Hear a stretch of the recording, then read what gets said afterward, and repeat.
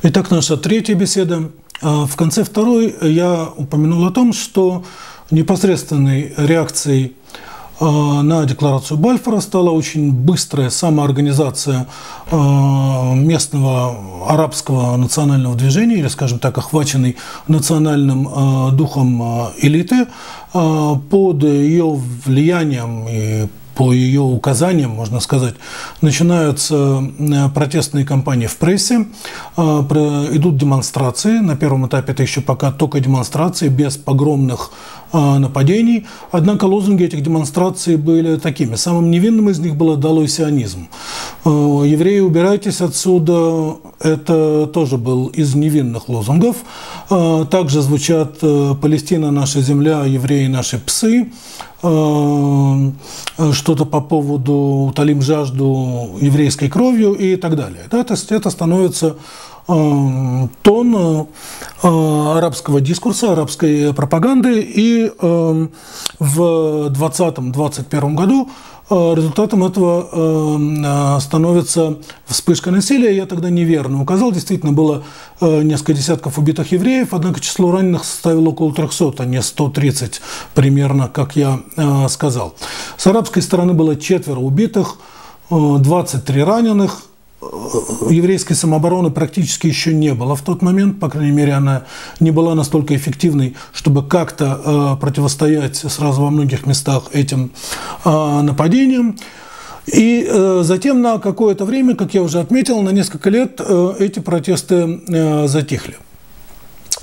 Э, впоследствии они будут очень внятно коррелировать с некоторыми очевидными для арабов – демографическими и хозяйственными изменениями в Эрец э, Израиль.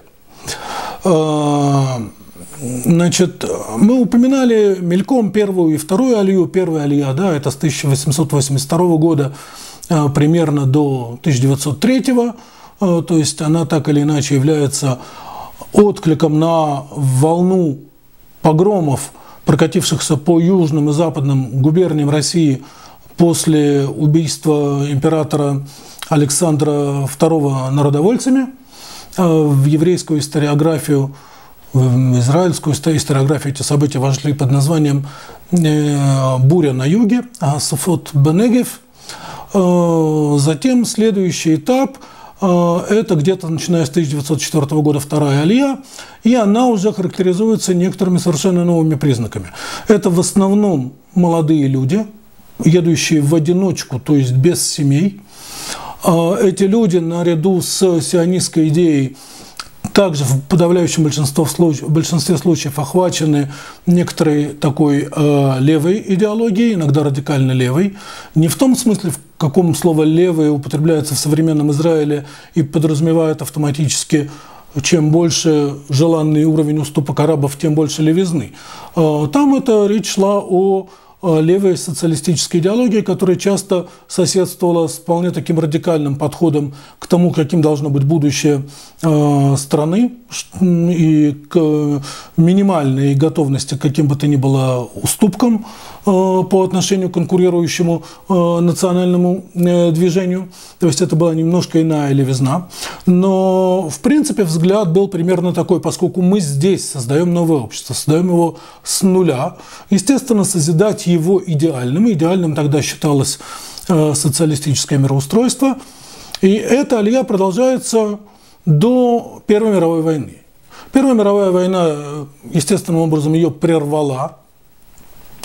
И в 19 году она возобновляется. Поскольку все-таки это довольно большой интервал, 5 лет, то мы говорим, принято выделять уже следующий этап как третья алия. Третья алия, ее обычно отсчитывают от прибытия в Яффе из Одессы в декабре 19 года прохода Руслан. Да, это был такой своего рода, можно сказать, сионистский Mayflower. На борту этого судна сюда вернулась поэтесса Рахель. Сюда прибыл известнейший историк Йосеф Гедаля Клаузнер, бывший главный редактор газеты «Арец» Моше Йосеф Гликсон, известные архитекторы Зейф Рехтер и Иуда Магидович, будущий главврач больницы Гадаса Э, Хаим Ясский, еще несколько очень известных э, врачей, э, знаменитый танцовщик Барух Агадати. В общем, целая такая плеяда израильских знаменитостей, в том числе, кстати сказать, отец знаменитого поэта Хаима Гури, мать Ицхака Рабина. Все они прибывают в Израиль на этом пароходе, на его борту свыше 600 пассажиров, и с этого момента датируют начало Третьей алии. Третья алия, она была естественным продолжением второй, в том смысле, что это были такой же, такого же типа люди. Тот же самый человеческий типаж, естественно, в основной массе, да, такое не бывает, чтобы э, было стопроцентно, но тем не менее. Это в основном люди, которые едут сюда из бывшей Российской империи, свыше 40%, значительная часть также из Польши, из Румынии, из Литвы, Впрочем, Польша по крайней мере, частично и Литва. Это также бывшая Российская империя. Это также люди, в, в основном молодые, охваченные очень таким, наряду с сионистским социалистическим э, мировоззрением. И, по сути дела, разница между ними – это просто то, что те до Первой мировой войны сюда приезжают, а эти после Первой, Первой мировой войны. И всего в рамках этого процесса, в контексте Третьей Алии, в Израиль приезжает 35 тысяч человек. Это, в общем, не так уж много. В общем, не так уж много. И арабы до известной степени успокоены. Они видят, что темпы репатриации не таковы, чтобы она могла кардинальным образом угрожать их э, демографическому доминированию в э, Эрец Израиль. Окей, существует декларация Бальфора как неприятный формат политического управления или целеположения британской администрации. А, однако на практике их позиции в огромной степени гарантированы. А, и, в общем, буря стихает. Стихает, и дальше новые всплески насилия будут явным образом коррелировать с теми демографическими изменениями, и, как я уже сказал, и с э, э, хозяйственными изменениями, которые будут ощущаться арабами как заявленная прямая, э, прямая угроза. Э, я хочу, завершая тему событий 20-21 э, годов, я хочу отметить, что некоторые ключевые параметры э, этой сложившейся ситуации были уже тогда понятны людям умным и способным к трезвому анализу действительности. Было понятно, что столкновение национальных интересов, столкновение национальных устремлений является неизбежным, что оно является объективным фактом. В июне 19 года Бен-Гурион выступает перед Временным комитетом э, евреев Эрец Израиля и говорит буквально следующее.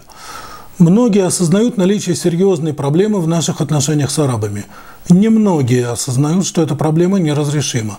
Нас разделяет пропасть, которую ничем не заполнить. Мы, как народ, хотим, чтобы эта земля стала нашей страной. Они, как народ, хотят эту землю себе. В том же ключе пройдет 4 года, в том же ключе э, Зеев Жаботинский э, пишет в своей статье «Железная стена» и в серии сопутствовавших ей публикациях, публикаций о том, что именно потому, что они, то есть арабы народ, народ, они сброд, именно поэтому они не уступят нам э, никогда и до тех пор, пока у них есть надежда опрокинуть наши усилия, силы, изгнать нас отсюда, не дать нам добиться осуществления наших национальных целей, они будут делать для этого все возможное. В сущности, мысль одна и та же. И то, что Бенгурион позже, став первым официальным лицом э, еврейского агентства, сохнут вообще, так сказать, сионистского движения, избегал формулировать ее столь же внятно, было связано не с тем, что он стал смотреть на вещи э, иначе, а с тем, что просто в качестве первого официального лица он был вынужден учитывать э, пожелания англичан, которые были, в общем, заинтересованы в поддержании какого-то формата диалога, между евреями и арабами, при том, что арабы демонстрировали полнейшую непримиримость по всем вопросам. И к тому же, может быть, не хотел пугать евреев Европы, которым, с одной стороны, угрожала там смертельная опасность, а с другой стороны, сказать им, что приезжая сюда, они обрекут себя на участие, на участие в каком-то э, конфликте, в перспективе неизбежном вооруженном конфликте, э, значило запугать их и остановить от решения, которое могло для очень многих-многих из них быть э, спасительным. Но, в принципе, трезвое понимание этого присутствовало уже тогда, э, в тот же период, уже на фоне этих Э, разразившихся в 2020 году э, погромных э, нападений, Бангурион говорит, мы можем что угодно думать по поводу морального качества обращенного против нас насилия, в одном не может быть сомнений. Мы имеем дело с национальным движением. И осознание этого факта тут же пришло к практическим, привело к практическим выводам. В 2020 году создается Агана – на Хайской конференции Истадрута создается Агана как общеизраильская, на первом этапе еще очень аморфная, но тем не менее как общеизраильская э, военизированная в той или иной степени э, структура, которая со временем составит основу израильской, э, израильской армии. Итак, мы говорили про третью алию. До этого говорили, что 35 тысяч евреев приехало тогда в страну, и что арабов, в общем, до какого-то момента темп этих изменений не очень сильно пугал. Но затем начинается, в 24 году начинается так называемая четвертая алия, которая уже носит совершенно другой характер. А, во-первых, она преимущественно из Польши, уже не из бывшей России, так сказать, а именно конкретно из Польши эм, а, хотя также и отчасти из Румынии, из других восточноевропейских стран. Это алия во многих случаях людей, которые имеют какой-то начальный э, капитал, э, которые, в отличие от э, предыдущих срезов, скажем так, алии, второй и третьей алии больше рассчитаны на как, настроены на какое-то личное преуспеяние, нежели на участие в созидательных э, процессах, самоотверженное участие в созидательных процессах. Скажем так, они не столько идут в кибуцы или куда-то там осужать э, болото, сколько поселяются в городах. А, часто их называли в то время алией киоскеров э, или торговцев газировкой – отношение к ним часто бывало очень таким а, пренебрежительным. И непосредственными причинами, стимулировавшими эту волну репатриации, стали в Польше меры, экономические меры, откровенно антисемитские, э, э, Владислава Грабского, который был одно время министром финансов, одно время также и премьер-министром довоенной э, Польши.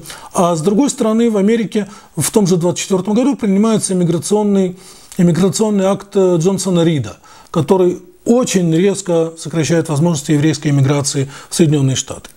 И таким образом складывается ситуация, при которой, с одной стороны, есть фактор выдавливания, который мощнее всего действует в Польше, но также и вообще в Восточной Европе, в Румынии, в Венгрии. Эм, а с другой стороны, по ту сторону океана возможности иммиграционного обустройства сводятся к минимуму. И это приводит к тому, что сюда приезжает в течение сравнительно короткого времени уже 70 тысяч человек в течение пяти лет до 29 года. То есть темп оказывается в два раза более быстрым, чем, э, скажем так, э, третья алия. Тель-Авив быстро растет, очень быстро разрастается, становится, в общем, уже таким по-настоящему городом. А, закладываются основы израильской текстильной и пищевой промышленности. И вообще, так сказать, в хозяйственной жизни она имела большое значение. И это уже зримые, пугающие арабов изменения. Они их очень конкретным образом наблюдают, и тут у них появляется опасение, что, возможно, такие темпы э, еврейской алии могут составить в перспективе угрозу абсолютному их здесь э, доминированию, демографическому доминированию. А, я в этой части своих лекций почти не затрагиваю персоналей в арабском национальном руководстве. Я упоминал лишь э, Хаджамина Хусейни. А, и сейчас не буду э, подробно останавливаться на том, какого рода и какие именно у них были партии, группа влияния на соотношении э, между кланами Хусейни и Нашашиби, два таких были конкурировавших арабских клана. А, важно отметить, однако, что в 29 году все это приобретает характер новой вспышки, уже, так сказать, такой значительной организованной вспышки насилия.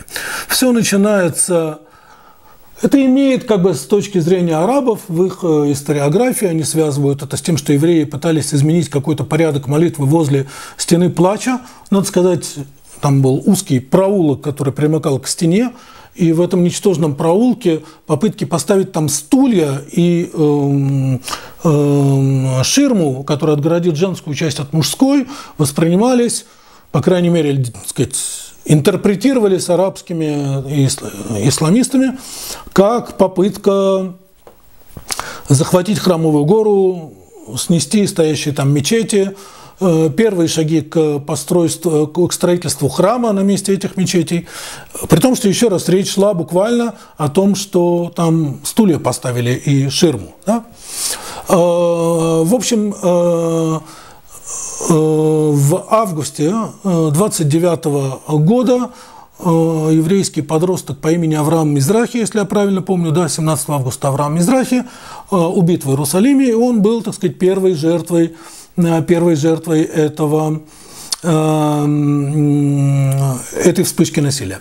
23 августа уже во многих местах в Иерусалиме происходит нападение на евреев, десятки убитых – Э, было также двое убитых арабов, просто прохожих вблизи Мяшарим. Их там, можно сказать, линчевали на фоне этих уже идущих нападений. 24 августа Хевронская резня, 67 человек, э, евреев э, безоружных местной общины, там, где не было вообще и никакой сионистской предъявленности, и никакой самообороны, ничего, просто вырезаны там. И э, начинается вот эта вспышка насилия, которая затем э, расширится на многие другие районы э, страны, э, особенно на те, где евреи живут более-менее изолированно, как в том же Хевроне, в районе Цфата, э, в в, во многих других местах вот такого более-менее обособленного существования тех или иных а, общин. А, и всего за сравнительно короткий период у евреев было 133 убитых и примерно 340 раненых, с арабской стороны 113 убитых, 232 раненых. То есть мы здесь видим уже другое соотношение потерь. У, араб, у арабов почти столько же убитых, меньше, но все-таки почти столько же. А, и э, сопоставимое число раненых, не так, как было в 2020-2021 году. То есть Агана уже действует. И если мы смотрим реально по обстоятельствам гибели, то тут сомнений нет. Подавляющее большинство евреев убитых – это люди, которые убиты у себя дома, а, или просто, так сказать, там на улице убитых прохожих. Подавляющее большинство убитых арабов, они или убиты э, оборонявшимися евреями при нападении на еврейские кварталы и поселения, или убиты англичанами Э, в ходе соответствующих тоже каких-то акций по э, поддержанию, по восстановлению э, порядка. И это вот, так сказать, волна 29 года, Тарпат, он именовался по еврейскому календарю и, так сказать, соответствующим образом именуются связанные с этим годом события, они стали, на мой взгляд, довольно очевидной реакцией на те зримые изменения, которые происходили в Израиле Э, в годы э, четвертой Алии. Э, еще раз, при всем том пренебрежительном отношении, которое к ней часто высказывалось, тем не менее, сама ее массовость, 70 тысяч человек в течение пяти лет, связанные с ее прибытием роста Тель-Авива и ряд других изменений, они довольно так сказать, убедительным образом повлияли на арабов в том смысле, что те осознали уязвимость своего положения. Дальше англичанам как-то, как-то удается восстановить порядок, пойти навстречу арабам э, принятием э, целого ряда постановление, которое ограничивает покупку земли и иммиграцию еврейскую, еще не, запр... не сводит ее к тому минимуму, который будет в третьей белой книге 1939 э, года. А, но, тем не менее, уже тогда это довольно серьезное ограничение, то есть попытка англичан э, защитить себя от арабского гнева и воспрепятствовать будущим беспорядкам тем, что они идут навстречу э, арабским каким-то национальным чаяниям. И Э, следующим этапом, который приведет к следующей вспышке насилия, становится так называемая пятая алия. Пятая алия, ее датируют ее начало 30-м годом, но реально это было все потихоньку, полегоньку. Реально она началась в 1933 году, когда нацисты приходят ко власти э, в Германии. И э, здесь нужно отметить, что для еврейского, так сказать, мира на первых порах, в первые, там, скажем, месяцы нацистского правления э, стоял некий вопрос, э, какова оптимальная политика по отношению к этому э, правительству. Э, например, была такая идея бойкота, да, что попытка, так сказать, организации всемирного еврейского бойкота, который, быть может, сможет как-то, так сказать, вовлечь в себя и там какие-то не только еврейские коммерческие структуры в Соединенных Штатах э, и так далее. А с другой стороны, для сионистского движения было для его руководства политического, там, скажем, сионистского мейнстрима, было очевидно, что никаким этим бойкотом повлиять ни на что невозможно, а с другой стороны, что евреи Германии э, почти лишены возможности выезда оттуда, поскольку они не могли вывести с собой никакого имущества. Э, они не могли вывести имущество, и все-таки напуганы они еще были тогда не настолько, чтобы бежать уже бросая все, а, и поэтому, несмотря на приход Гитлера к власти, и, казалось бы, так сказать, уже очень такую обозначившуюся угрозу, ну, никто, конечно, там не мог осознавать, насколько серьезную, но тем не менее, да, а, евреи особенно, так сказать, не уезжали, потому что им нужно было бросать там буквально все, они не могли вывести никакого, никакого имущества. Э, поэтому сионистское движение э, направляют в Германию Хайма Орлозорова, который ведет там переговоры, которые уже после его гибели были заключены, о заключении так называемого договора о трансфере. На иврите это называется эскема вера. Э, трансфер не в том смысле, что, так сказать, как обмен населением, как сегодня это чаще употребляется, а трансфер состоял в том, что евреи, уезжавшие, уезжавшие из Германии могли вывести часть, часть э, своего имущества, получив его уже здесь в местной валюте, в обмен на свои замороженные, замороженные счета, в обмен на какую-то форму торговли, то есть, так сказать, экспорта товаров, того или иного товарного экспорта в Германию. Надо сказать, э, Бенгуриона и Орлозорова страшно ругали правые за это соглашение, за то, что это подрывает политику бойкота. Задним числом можно твердо сказать следующее. Это был самый успешный спасительный, или я даже не знаю, спасательный проект сионистского движения э, перед фактом, так сказать, нацистского геноцида, перед э, лицом будущего Холокоста. Благодаря этому 10% евреев покинули Германию в течение сравнительно э, короткого времени, 60 тысяч человек. Все они, по сути дела, спасли себя от гибели в дальнейшем. Наряду с ними, так сказать, также многие уезжали из Австрии, Чехословакии, той же Польши и других стран. Почему еще, кстати сказать, это было так важно? Потому что я уже отметил, были теперь уже и ограничения, британские ограничения на алию. Но была своего рода лазейка. Были так называемые сертификаты капиталистов. Для этого нужно было привести сюда тысячу фунтов стерлингов.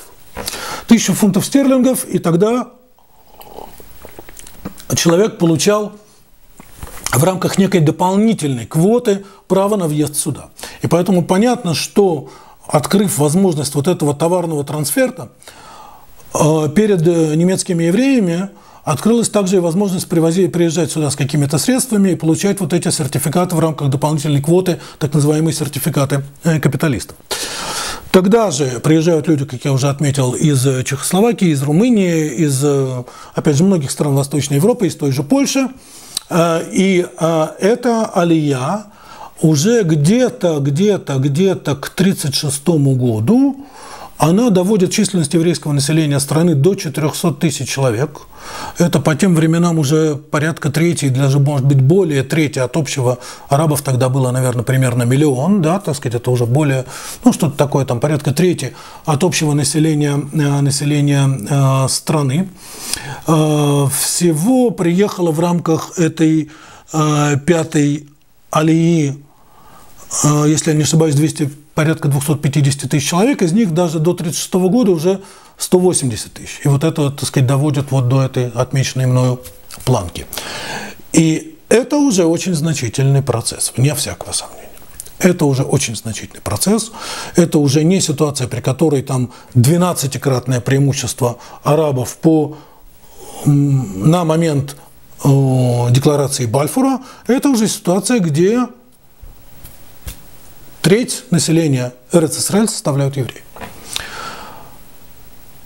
Ответом на это становится Великое арабское восстание, так они его называют на своем, в рамках своей терминологии. В общем, действительно, это было большое арабское восстание.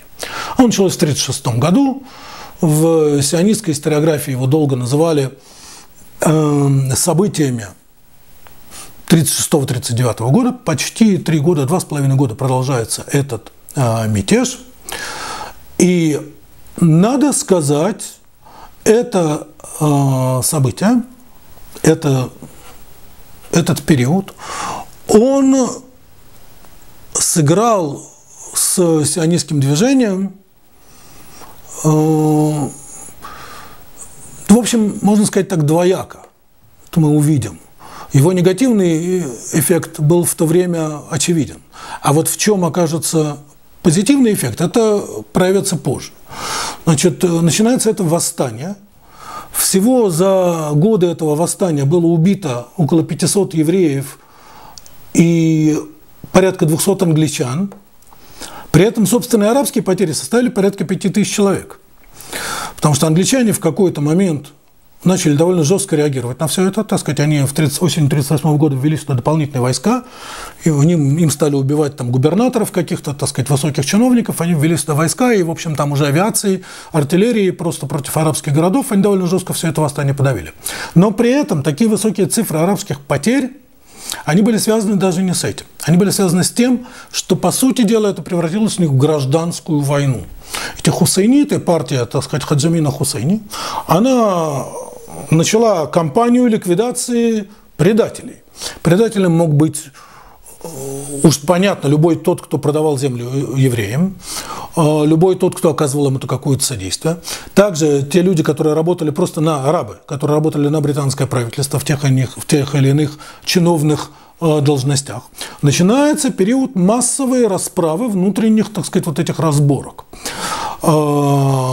Только в 1938 году таких убийств со стороны хусанитов было 500. При том, что совокупные потери арабов от защищавшейся Аганы и от э, англичан или со стороны противоположной как бы, партии, которая э, групп, можно сказать, связанной с кланом на Шашибе, но не только, а вообще всех тех, кого пытались уничтожать хусайниты и от кого они защищались – вот все эти совокупные потери, это в 1938 году 1100 человек. А при этом 500 человек просто убитых, вырезанных этими хусейнитами. Они с какого-то момента начинают платить деньги, они ведут активную пропаганду этих убийств, начинают платить деньги. 100 палестинских фунтов, или лир называли, за высокопоставленного предателя, 25 лир за просто обычного предателя, за убийство платили, и 10 лир за убитого еврея. В общем, может быть, потому что такие расценки на евреев оказались сравнительно низкими, то, в общем, несмотря на такой довольно ожесточенный весь этот период, за все эти, так сказать, годы этого восстания было убито около 500, э, около 500 евреев. Теперь, значит, давайте теперь попытаемся оценить, что это такое. Потери еврейского Ишува в войну за независимость, позже, 48-49 год, да, это 6 тысяч человек – то было очень много. Для 600-тысячного населения это было, э, был очень высокий уровень потерь. Теперь, арабское население к 1936 году порядка миллиона человек. 5 тысяч убитых – это реально много. Это, скажем так, намного, в разы больше, чем будет убито палестинцев в 1948-1949 году. Я не говорю сейчас про все потери арабских стран, арабских армий, но палестинцев как таковых в разы меньше будет убито в 1948-1949 году. Это высокий уровень потерь. Это высокий уровень внутренней распри. Один из представителей клана Анна Шашеби говорил тогда, к концу уже, в 1939 году, он говорил, Теперь еще 50 лет арабы будут убивать друг друга из-за того, что произошло вот во время этого, на время этого мятежа. Эта штука очень, очень, очень сильно обескровила э, местное арабское население. И в 47, 48, 49 годах степень его активности, степень его участия в непосредственных боевых действиях против евреев уже в ходе войны за независимость, она была сравнительно невелика, она была достаточно велика, но она могла быть намного выше, если бы они не, не произвели себе такого кровопускания в 1936-1939 году, которое, несмотря на все наши потери, стоило им в 10 раз большего числа жертв, позволило англичанам использовать против них всю их военную мощь и вызвало так, также там глубочайший внутренний раскол и оставило массу следов массу следов э, кровавой э, мести. Теперь это, так сказать, положительная для нас сторона, то, что это очень их сильно ослабило в преддверии будущей войны за независимость. Отрицательная сторона, на первом этапе англичане создают так называемую комиссию Пиля, которая проводит ряд слушаний, предлагает проект создать раздел. Раздел в 1937 году, предложение раздела 80 с лишним процентом территории Западной Эрец-Исраэль арабам, 15 процентов, то есть прибрежная полоса от Бейртувья к северу, плюс Галилея и до, северные долины, израильская, бейтшанская, евреям, примерно 15 процентов территории Эрец-Исраэль, и э, британская зона, включающая Иерусалим, Бейтлехем, с коридором к Яфа. Они делают это предложение раздела. Бангурион убежден в том, что это предложение надо брать сохранились свидетельства того, что и Жаботинский склонялся к тому же, но не решился высказать это э, открыто. Потому что, в общем, понятно, накануне Холокоста, накануне катастрофы, в тех условиях, дайте мне 15%, посмотрим через два года, какие у меня будут границы. Да? Когда у тебя есть миллионы людей, которые готовы сюда бежать выталкиваемые из Европы надвигающимся э, ужасом. Тем не менее, так сказать, общая такая позиция Конгресса сионистского была такая более сдержанная, взять за основу, но не, они отвергли это в том виде, как это было предложено. Арабы отвергли это полностью, и англичане очень быстро с этого слезли. Арабы категорически вообще не захотели об этом слушать. Они с этого слезли, и в 1939 году они уже принимают после того, как они подавили это арабское восстание, принимают Белую книгу, третья Белая книга, она же черная Белая книга. Суть ее стоит в следующем. В течение 10 лет Палестина превратится в независимое государство. До тех пор, в течение ближайших пяти лет, будет позволено сюда въехать 75 тысяч чем еврейских беженцев из Европы, и все, больше никакой алии не будет. На 95% территории Израиль запрещено евреям покупать землю. То есть учтены, удовлетворены все арабские интересы полностью. Им гарантировано государство, которое будет их арабским государством. Потому что прибавь сюда 75 тысяч, это не изменит демографию никуда кардинально. Кстати сказать, предложение э, этой комиссии Пиля, он даже предусматривал некий трансфер, то есть выселение арабов с еврейской части, а евреев немногих с арабской части. Здесь просто создается двунациональное де-факто арабское государство, им все это предложено, этот самый Джамин Хусейн отклонил даже и это, но для нас самым ужасным во всем этом стало то, что это свело к минимуму возможности спасения из Европы для евреев в годы Второй мировой войны. А с другой стороны, как я уже говорил, положительный момент всех этих событий стал в том, что он очень сильно арабов ослабил в преддверии будущего, через 10 лет столкновения, уже войны за независимость Израиля как таковой. И о ней мы будем говорить, естественно, уже в следующий раз.